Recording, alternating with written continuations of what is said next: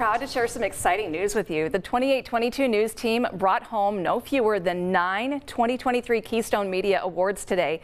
The awards event was held in Harrisburg today. PA Live host Chris Bohinski and Special Projects executive producer Jane Ann Bugda were there to accept the awards.